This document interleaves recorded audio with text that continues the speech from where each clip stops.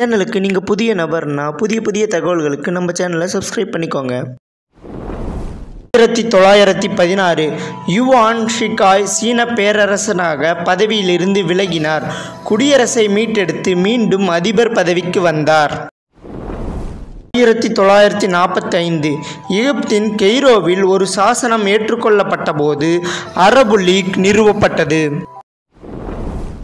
ஆயிரத்தி தொள்ளாயிரத்தி தொண்ணூற்றி ரெண்டு நியூயார்க் நகரின் லகார்டியா விமான நிலையத்தில் புறப்பட்ட சிறிது நேரத்திற்குள் யுஎஸ் ஏர் ஃப்ளைட் நானூற்றி ஐந்து விபத்துக்குள்ளானது.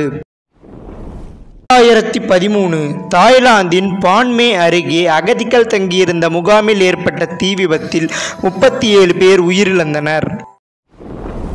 ரெண்டாயிரத்தி பத்தொம்போது கானா தலைநகர் அகராவின் வடக்கே ஏற்பட்ட பேருந்து விபத்தில் ஐம்பதுக்கும் மேற்பட்டோர் உயிரிழந்தனர்.